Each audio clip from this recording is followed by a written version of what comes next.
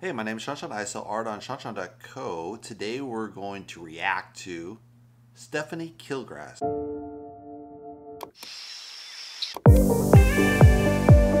So let's check out her channel. So looking at her channel, she has this nice sculpture at the top. You kind of get a feel of her what her style is, which is really cool. She has her website and some of her social media and her print site. So I think that's really smart. You got two sites to your shops prints and originals. So that's kind of what you want. And then uh, Instagram to kind of see your latest stuff. Her logo is kind of interesting. It's just kind of a mask, but you don't get a feel for what she looks like. Uh, but some people like to be more private. So she has uploads. Is her first uh, list here. Sculptures, paintings, popular uploads. I would do the popular uploads on top. And reviews, vlogs, and blabbing. That's kind of funny. so let's go to the first video. This one is called Miniature Teeth Denture Sculpture from Poly Polymer Clay Phil Fimo Tutorial. Maybe turn it down a little bit. It's pretty loud. Hello, today we are making some teeth. You could use these for a mad scientist lab or a dentist. I personally am going to use that those smiling teeth for a smiling boy.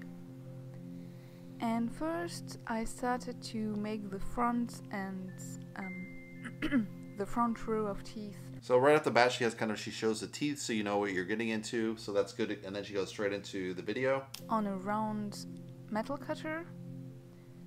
In the end you could actually make them directly on a tile, but at that time I thought I was going to bake them on the, um, the round cutter, so that's, that's a good option. You simply cut a piece of white stripe. I just thought about the group, the music group, the white stripes, that's why I just hesitated. So simply... It's a really nice zoom shot. She's got a really tight zoom. It's focused only on her. Everything else is blurred out. So it's very tight focal length, probably 1.5, 1.2. So you got a really nice uh, effect there with green in the background. Good contrast. Uh, let's skip ahead just a little bit. To sculpt so you don't make anything wrong. And so you make the top and the bottom. And now we are making I feel like we're making cocaine with it, the razor blade. But you are going to cut four pieces of thick white stripes, like so. So skip ahead just a little bit here are great tools, so never be afraid of using toothpicks, only tool. So she's forming the teeth, I guess, the molars. Always looking at my reference picture and then making the top and bottom. Now I just removed the front row of teeth and I'm added it to the molars. Which is a really nice speaking voice, very slow, evenly paced, and very calm, so it goes with the style of painting, I think. Let's scrub ahead a little bit. And again, I just put it on a tiny tile and then removed some of the inner flesh. I feel like she's digging into my jaw. Like, ooh. And then pushed it out. And then I'm just adjusting the sculpt of the inside. This is so weird. I don't know why you'd have teeth like this made, but they're very cool looking. I'm using one of those uh, embossing tools that everyone always asks me where I got them. I just got them at an online craft store and I just cannot find the reference anymore because I have them for years now. I'm pretty sure you can find them in any good craft store though. Let's skip ahead a little bit more. And finally check if the teeth fit one on top of each other and you can bake and you're ready to go. Don't forget to varnish and you are done. That is pretty cool. I don't know what the use of it is, but it's kind of interesting to make a little sculpture like that. And it ends with their Patreon or subscribe shop. Uh, let's go to the next video. It's definitely kind of the AMR music where you have in the background, you're like chilling and kind of vibing to it. So you have it in the background, which is really good for watch time. So you can really increase your watch time if you kind of make it just kind of a chill and relaxing video. And painters might play it over and over again. So she's probably getting a high view count just off that. So this one is called, the next video, Ancient Books in Time Slow working and living. So here you actually get to see the artist.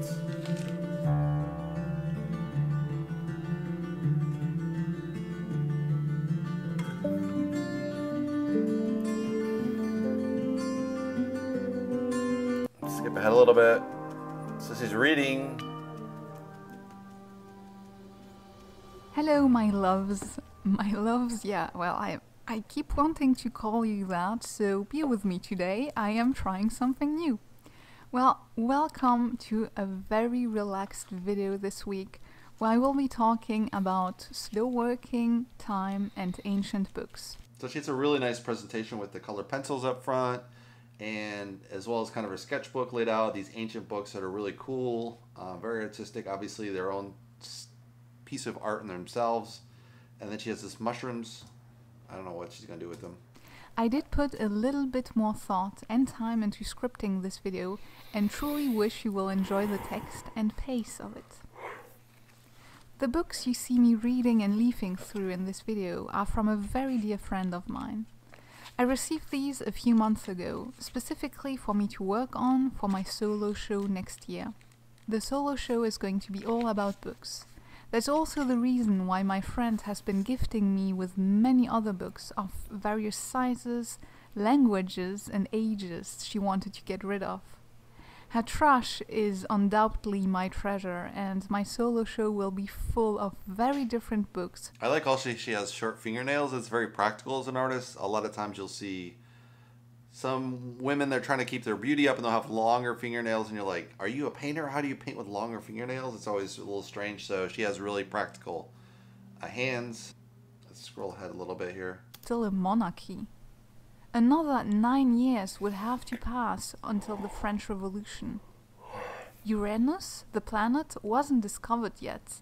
It had to wait another year for william herschel the US were in the midst of their revolutionary war to gain independence from Britain. It's really interesting. She's adding kind of this. I love history, but it's just kind of interesting to add history on top of the sculpture because I don't see the connection between the mushrooms and the history. Maybe I missed something because I'm skipping ahead. Let's skip ahead a little bit more. Presence of these ancient volumes quite charismatic.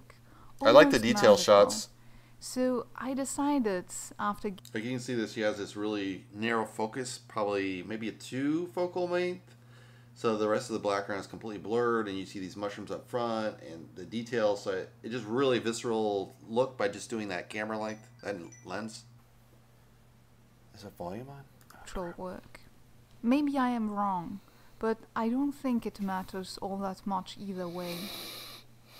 Nowadays, books have become commodities, objects that we buy, rent, gift, and often throw away. They are just another of these mass produced items, no longer cherished as the small miracles, vehicles of knowledge or stories that they are. Yeah, that's really interesting how it's kind of people kind of switched to kind of the Twitter, Instagram, Facebook, really short text lifestyle. And then uh, because they're doing that all the time, they can't really read books. Because if you do that all the time and you don't read, you'll just forget how to read books. Not forget, but it'll be much harder because your brain will just be like, oh, we don't need that information. So it's important to read books at least once a week to be able to retain that knowledge and the ease of reading long form. But it's interesting, yeah, the value of it's just not there. Like you go to your Barnes and Noble and it's just like the selection just sucks nowadays. And I love a good bookstore. And you go there and you're like, what is this? They have all these games in there. It's like, who the hell cares about this? Children's books, all this stuff. You're like, what is all this junk in here? It's just horrible selection of books. Like, I can never find a good book in there anymore. Maybe I just bought a lot of the good books, but yeah, just a really sorry state of the bookstore. So let's skip ahead a little bit. Mm-hmm. As we are tempted to work or do chores at the same time, never quite willing to give our full time and attention to the story. That's cool. She's kind of changed the view. artists, I work alone and from home. And I have the tendency, like many others, to put on audiobooks, podcasts, music, or videos in the background when I work. However, yep. the sheer quantity of information that is propelled to my brain is often tiring, and I find myself numb again. Yeah, that's true. Using listening to podcasts constantly is like, because I do that. I do delivery, and it's like constantly like Joe Rogan, I probably listen to three Joe Rogans a day, and it's like you talk to other people, and they're like, "What are you talking about, dude?" they're like, "Go listen to music." I'm like, "I've heard all the songs, right?" But it's just funny, you know. The artist lifestyle with the podcast is so funny. You Rush it. Slowing down your practice and putting more effort into your skills and techniques is the most valuable gift you can give to others. It's so weird. I don't know what she's doing. And staring holes into your wall is a peaceful endeavor as well. Your subconscious often needs time to figure things out, and pausing throughout your day. I mean, she can take a photo of this or sell it like that. We live at a time when many of us yearn to pause and stop rushing. And while it isn't always that easy to achieve, and sometimes almost impossible, it is a goal worth fighting for and that I wish upon all of you. And this concludes today's video. I really hope you enjoyed watching me work in silence. I like it's kind of a symbolic work, but uh, I kind of feel bad she's using these old books to put these sculptures together. But it's cool if she disassembles them. All right, this is called "Stop Be Getting Bullied by Algorithms." You're worth more than machines. Instagram for artists. Ooh.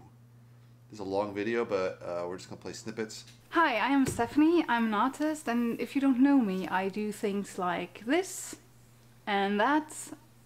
I also draw, Mm. and sometimes I paint. Now, in today's video, I would like to discuss with you something that has been going on my nerves for quite a while, and that is social media, and more specifically Instagram. Now, I have an Instagram that is fairly big. I have over 200,000 followers, but my engagement rate has been dropping consistently. And this is something I would like to touch on because Yeah, it's basically Facebook kind of like went from the golden era to like barely any engagement. Instagram, they're doing the same thing. They're just kind of you have to pay to play kind of thing. So it's transitioning. it sucks, but also to kind of reassure you if you're trying to grow your Instagram account and it's not working. Because we're in 2021, Instagram is completely crowded, and growing organically right now is near impossible. Let's be honest, it's just near impossible. Why it was popular, with but it's not a proper artwork. It's again just a study. Nothing against studies, but yeah. And then I have this one. It's an artwork on which I worked over a few months, and I think it's really good. It's a proper artwork. Um, I'm not saying it's a masterpiece. I, wouldn't, I would not be here on YouTube if, if I would be able to make masterpieces. But this one got, I think, 3,000 likes, something like that, to half of that one. Now, does that mean that the study is better than the artwork? No, it doesn't. Absolutely not. And if you think that, then um, you, you've got a problem on your hands. And this is something that I see repeatedly on Instagram, not just on my feed, but on other people's feeds. That's pretty interesting. The pizza's done. Artists I follow, or friends, artists that I follow or like. And sometimes certain posts will blow up for unknown reasons, uh, while other artworks, which are far superior, will get just a fraction of just that the baby. my cat walks out. So oh, it's the cat. Let's skip that. She should have just cut that out. I but- don't remember the name.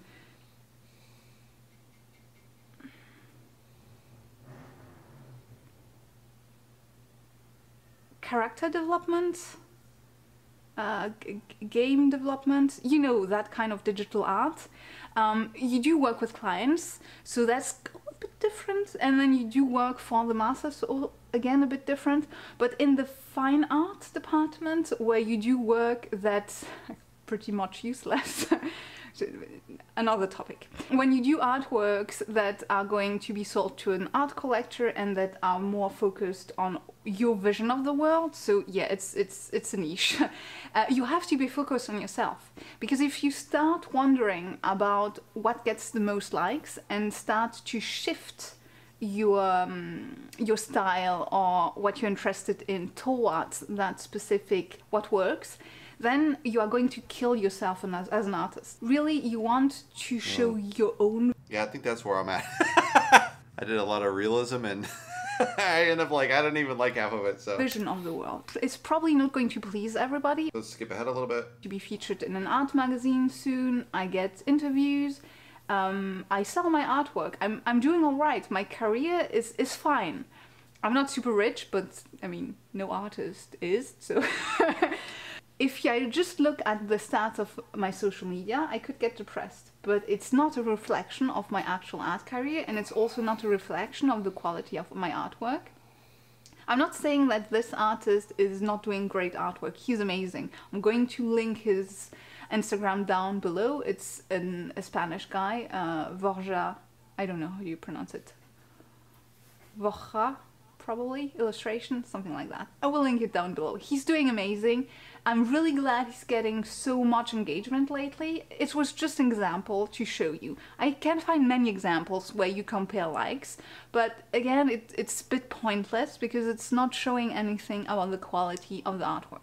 Now, does that mean you should ditch Instagram? Generally speaking, I would say no, but it depends. Yeah, the other thing too is with Instagram and social media is you're getting kind of a flash in the pan. And if you have like a newsletter, you get people off, get them leads, get their email, and then you're pitching them. You can have very high open rates. So maybe I have maybe 30% of my people, they open 60%. So, you know, maybe a good 20% of my stuff is opened. And if you look at what you put on Instagram, I mean, good luck getting 20% open rates. so it's much better to develop your email marketing list and try to really develop that. You obviously use Instagram, Facebook, all this stuff but you can really gain those you can really pull those people off and you can pitch them a lot more aggressively on email. Let's skip ahead a little bit more. To link that down below. And he does a lot of reviews of he does urban sketching so a lot of reviews are about watercolors and supplies anyway. So he commented on another video i think it was holly and he said that when you post on youtube or when you post on your blog then the post doesn't get lost in time. Meaning, when you post on Instagram on, or when you post on Twitter, your post is only relevant for a few hours to a few days, and then it's kind of dead and it doesn't matter anymore. No one is yep. going to find your work from a post three years ago. However, yep. when you blog and when you do YouTube videos, it will because you, there's a search engine that goes with it. When you online search, you usually find YouTube videos and blog posts.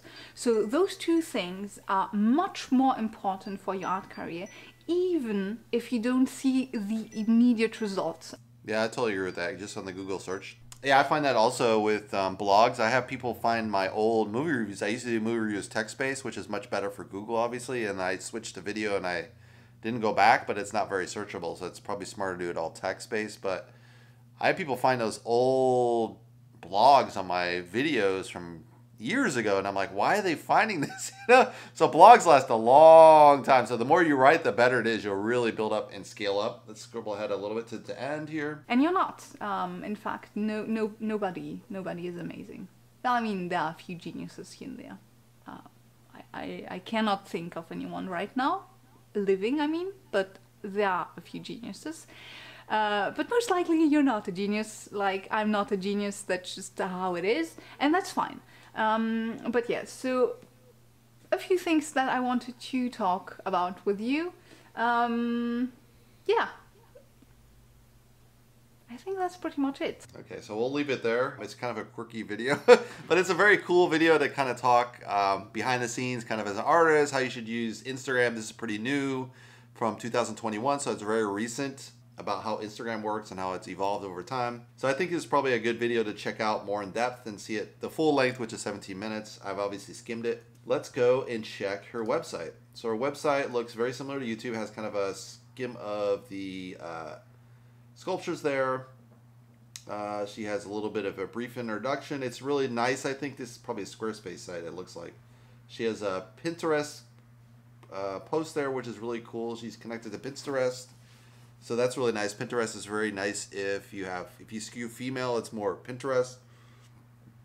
Obviously, you want to be on Pinterest. I've been on there, but I haven't posted in a long time, actually. I just post my videos there.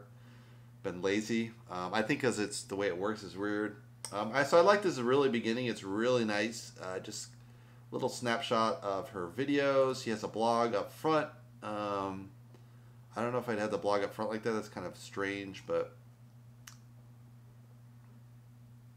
so I don't see any text, so I don't know how this is a blog, but maybe it's just she means to photographs. Um, maybe she switched up, so it's more just photographs. Well, I guess you can read more. So this is just the photos and you click on it. But it's not obvious that you click on there and you get text. But that's kind of cool. So she has her sculptures, wall sculptures, discarded objects, paintings, available works. Let's check that. art available through galleries. So she's doing really well. She's doing all, mostly through galleries, which is you know obviously the ideal setting for an artist. Um, she sells prints herself. Um, she has stuff from Redbubble, Society Six, INPRNT. So that's really cool because she has a couple different print shops. I mean, there's no reason not to use multiple print shops. You got a nice backup if one fall fails or whatever goes askew. You can always have one already ready to go. So it's good to have at least two, I think. Um, she has art classes. so she has some Skillshare stuff, which is really cool. Got a YouTube channel, of course, art supplies. I really like this website or this page particularly. is just a nice summary of all different art books and art classes, and she has you know videos, and it's just kind of a really nice photo text, photo text, photo text, and so it's very visual, which is great for. And she has her bio over here, so she has a little bit about herself, which is fun. Sometimes you, people use a state uh, called about versus uh, statement. So this is what the galleries always want. I just don't ever see the point of a, a statement and resume and all that, but it helps to get into galleries. it's like whatever, you know. Um, oh, she's actually in architecture. That's pretty interesting because I wanted to study architecture. She's like this is completely non-architectural style of art, but it's it's pretty interesting. I don't. She probably does architecture full time, and this is her side gig, I guess. I don't know, but she's been doing this quite a while, so maybe she's doing full time art as well. So, yeah, it's a pretty nice website, very clean, very simple, easy to follow through. I don't see any lead magnets, but she's already in galleries, so she's doing pretty well. Once you get to the gallery stage, you're kind of, you know, at that stage where you're selling your work at the level you want. So I don't think um, she's doing badly, obviously. I could do like her logo, like Stephanie Kilgast. You might want to write that out, kind of a script versus just block letters like that. It would look a little bit more like her signature. I think would be cooler. I have mine kind of faked out like that. I don't think mine is like that either. So I should follow my own advice, right? but anyway, that's uh, Stephanie Kilgast. I encourage you guys to check it out. Uh, if you'd like to uh, subscribe, you can subscribe below. And I'll see you on the next Artist React video.